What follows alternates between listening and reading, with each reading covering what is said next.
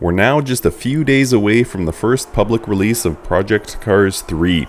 I ordered the deluxe edition of the title recently and I wanted to explain why I've chosen to order a game that I'm pretty skeptical about and what I actually expect the PC3 experience to be like.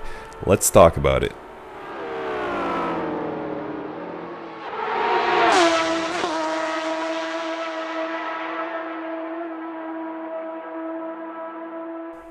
What's going on guys, it's Mike for SimRacing604 and as mentioned in the intro, the release of the third installment of the Project Cars series is almost here. I decided to take the plunge and order up something that I honestly don't think is going to blow my mind as a racing sim.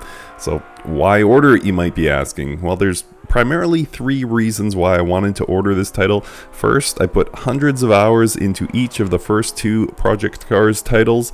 These titles have been fun for me and sort of on the cusp of greatness. The vehicle and track selection, graphics, VR, and a number of other things bumped PC2 higher on my personal rankings than a lot of other people's rankings, but again, it only really made it to the cusp of greatness because I think it was held back by a few things that could have been addressed but never were.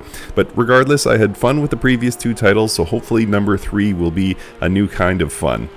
And second, I asked very experienced and respected beta testers how the new PC3 drives, and without revealing too much, they were complimentary about many aspects of the driving experience, especially with a gamepad. Now, I'll be using a wheel of course, but the impression I get is that the driving experience has seen some all-around tweaks and should be improved from previous titles.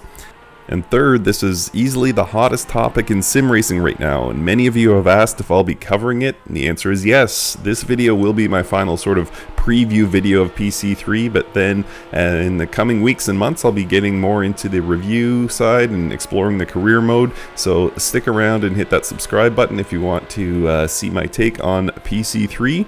Expectations in the community so far seem to be ranging from the very pessimistic sort of it's just a repackage of Need for Speed Shift view to a very optimistic view of they're finally embracing their role as a game rather than a sim creator and bringing us only the fun aspects of driving. But it's definitely got everyone talking, so I will be adding more coverage in the future. For me, my expectations are quite low on this title ever being embraced by the sim community, but I do have high hopes for it on the game front.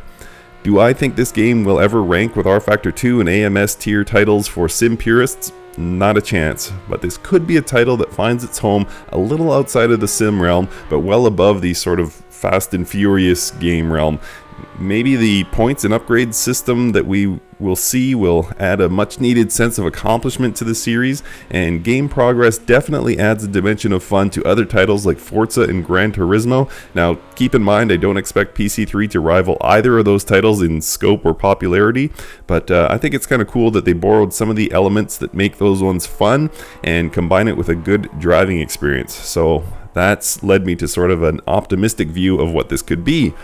Probably the biggest concern I have though is what will become of PC3 beyond version 1.0.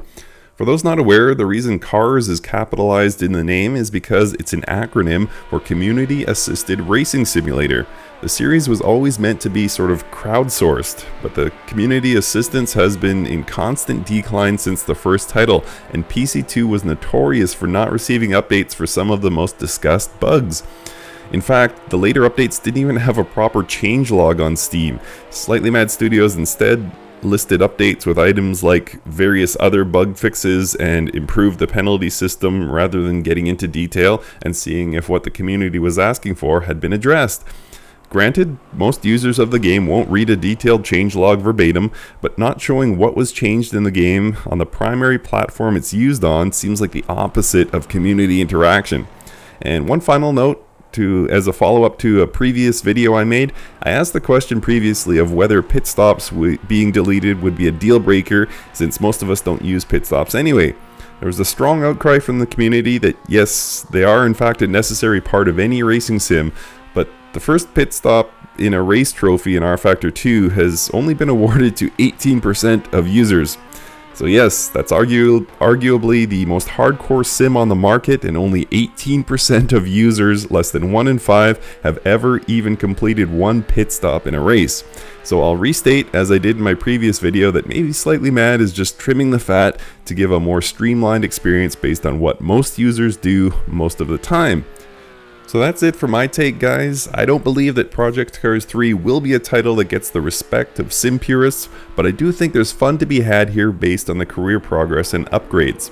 The title seems to aim to borrow elements of other racing games and trim out some of what wasn't used much in previous titles, so my biggest hope is that Slightly Mad opens up the communication with the fan base and addresses bugs and missing features and community wishes beyond the release of the game. In the day and age of social media, there's really no longer an excuse to not be interacting with the fan base, but let me know what you guys think. What's your prediction of the title? Is it going to be a game, sim, useless, fun, good, bad? How do you think this is all going to play out in the coming weeks and months? Let me know in the comments, guys. Thank you so much for watching, and we will see you next time.